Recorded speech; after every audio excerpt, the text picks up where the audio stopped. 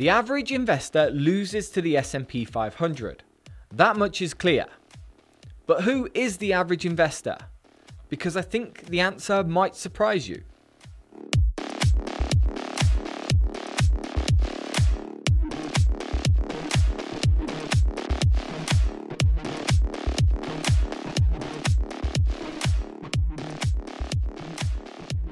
Welcome back everyone, my name's Paul. I'm new to investing and I'm doing my best to learn as much as I can. One thing that helps me to learn is as I discover something or figure something out, I relay it to camera and I just put it on YouTube.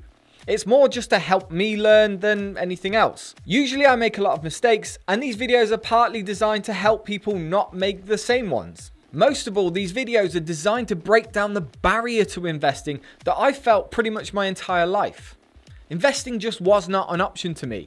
I didn't understand it, and it felt like it was a world that I wasn't allowed into. But when you actually look at it and you get through all the jargon and all the crap, it's not actually that hard to start. And in truth, you could actually start making money straight away very easily. You can do this by buying an index fund and investing consistently.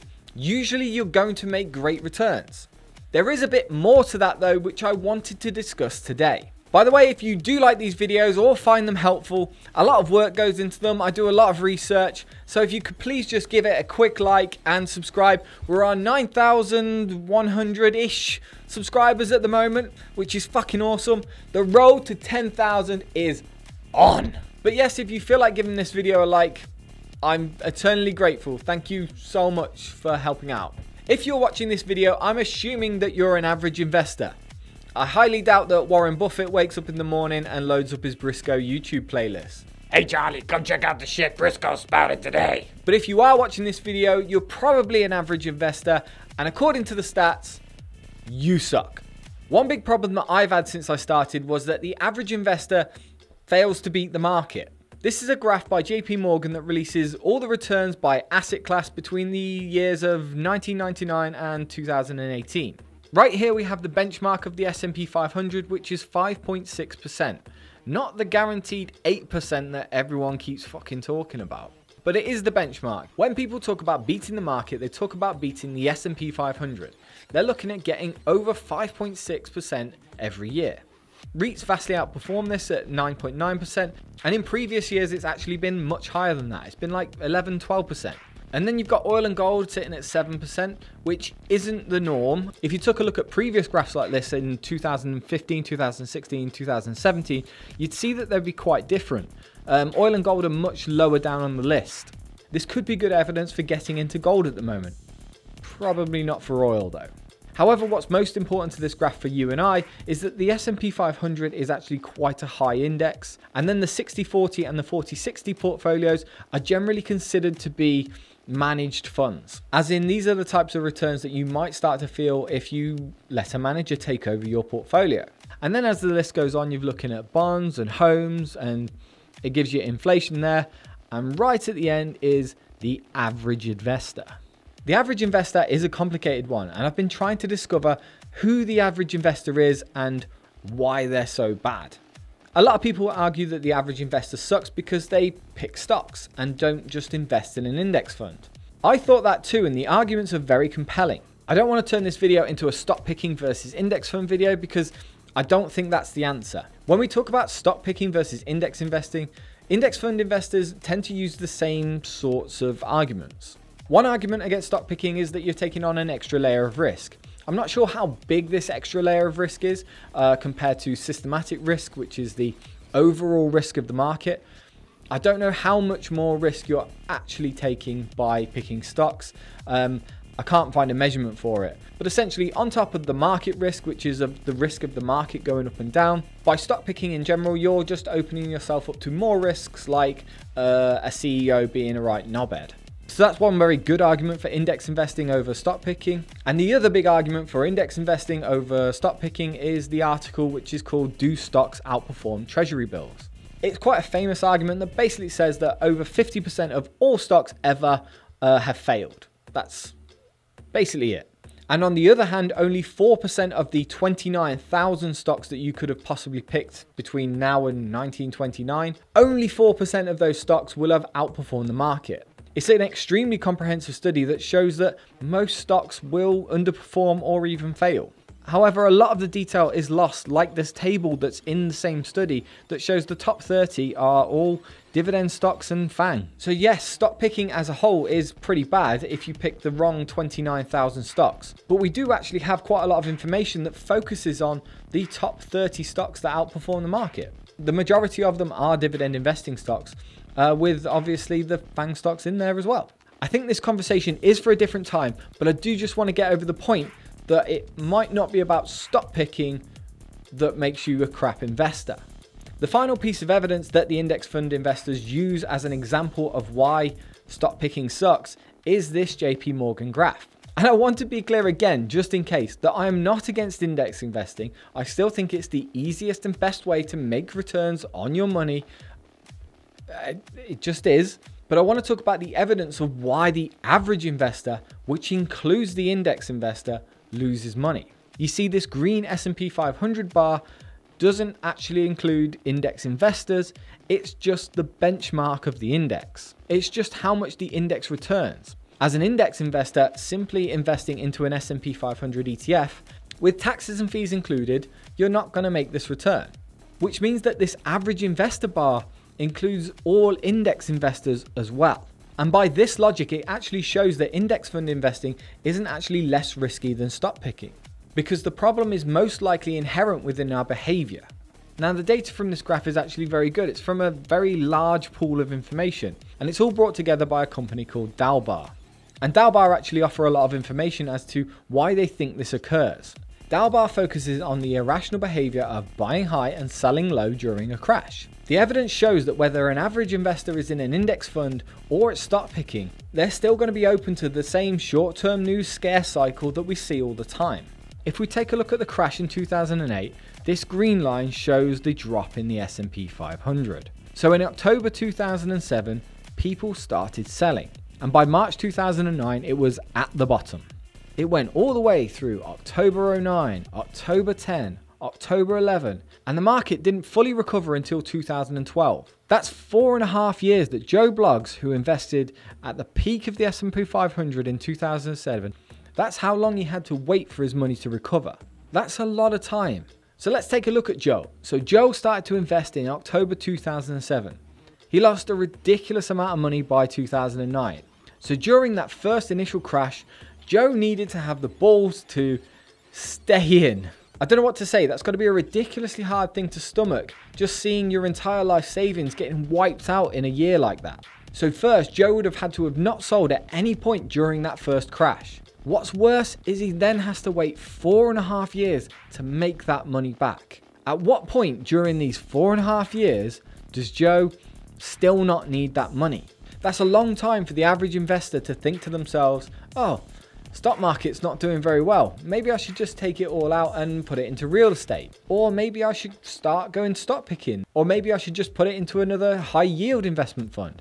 Better still, why don't I just sell out and then rebuy back in and I start back at zero? There's so many possibilities during those four and a half years that the average investor is likely to just sell out and cut their losses. And that's why this JP Morgan graph that's backed up by the Dalbar analysis, that's why it shows that index fund investors are no better than stock pickers. We're all open to the same emotion that means we could lose money.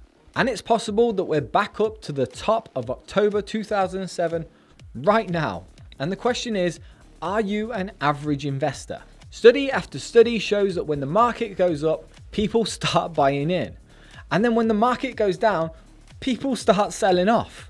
It's the same as when your stock goes down and kind of stays down for a long time, you sell out and try and find a better way to do it. There are lots of stories where that does work out, but the majority of the time it's just better to stay in.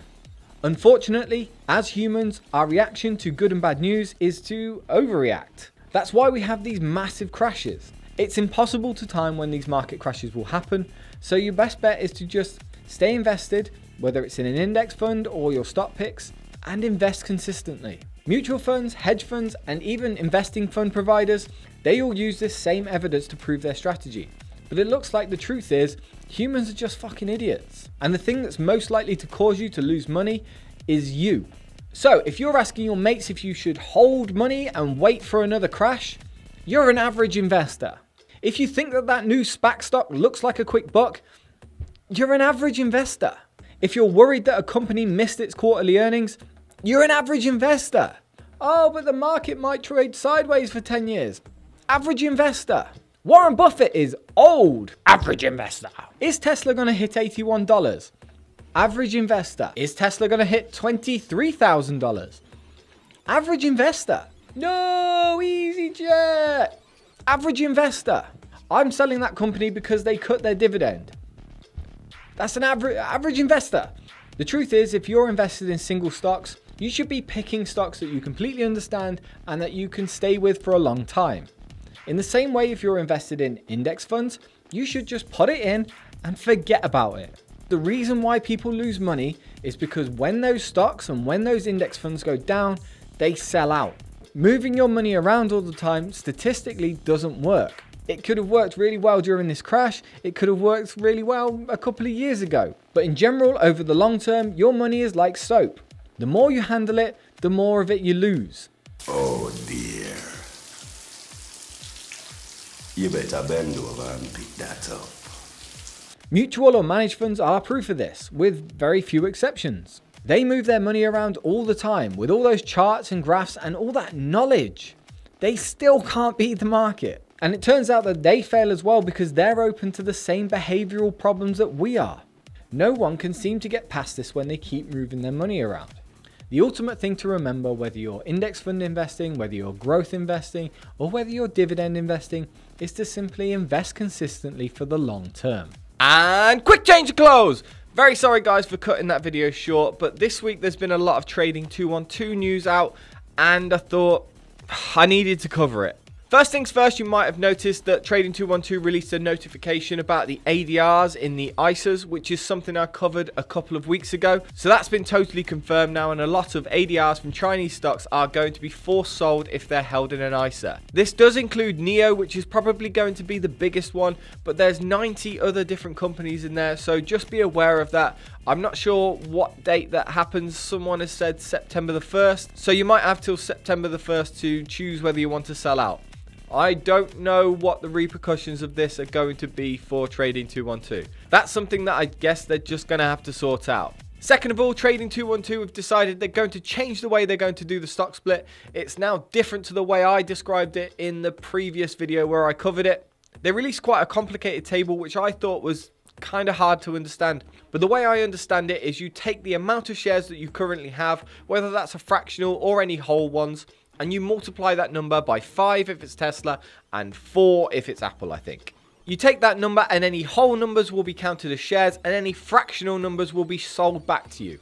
I know this is pretty soon. I think it's today actually it happens. So I apologize if this information has come out a little bit late. But I just wanted to correct it. That's how I see it. Uh, I still don't know if it's going to change. And I still don't know if it's 100% accurate what I'm saying.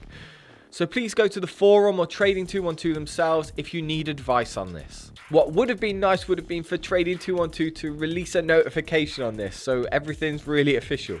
But I think this might just happen in a couple of days and I hope there's a lot of people out there that will understand what's happening. If you wanted to, you can find out more information on the Trading 212 community. You can also go to our Discord where there's a lot of people in there that actually do know what they're talking about. Those guys might be able to help you as well. But really, you should only be taking advice on this from Trading 212 themselves. Some great news though is that they've improved their pies feature and their auto invest feature. You can now put existing stocks into pies. That's exactly what I've been looking for and it's a great step towards making this entire portfolio passive. You've also got the ability now to export your pie, as in you can show people what exactly you've got in and how much they're weighted. You can do this by a link in the more options section of your pie. There will be a link in the description below to my pie so you can take a look if you want. If I'm honest, I'm really looking forward to the auto invest feature, so I want to get to know it really well and see if it's actually useful for me before I start banging on about it on YouTube. Thanks very much for watching guys. Please remember that I am not a financial advisor. I'm just an idiot on the internet. I have no financial credentials and I know nothing about investing. Please do not consider this video as personal financial advice. The app I use to invest is called Trading 212. If you wanted to get involved in investing, you can use the link in the description below to sign up. If you sign up and deposit like a quid or something, you get a free share and I think it's up to £100. I also get a free share out of it because it's like a invite a friend scheme kind of thing. Thank you very much for watching guys and thank you everyone for your support. If you found this video entertaining or interesting for whatever reason, please feel free to like, subscribe and invest.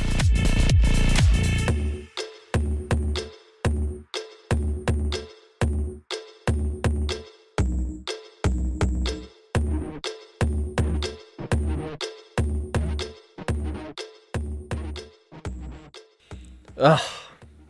10,000, man. That's ridiculous. Go watch Ben Felix. yeah, 10,000. 10,000 is a lot in it. Um, I don't know why. And and many of the commenters are. Hey, Charlie, check out the shit Briscoe start. hey, Charlie, check out the shit. what the fuck? hey, Charlie. Hey, Charlie, come check out the shit Briscoe spouted today. Hey, Charlie, come check out the average investor. Wanna go buy McDonald's? No, not a burger. Buy the actual fucking stock.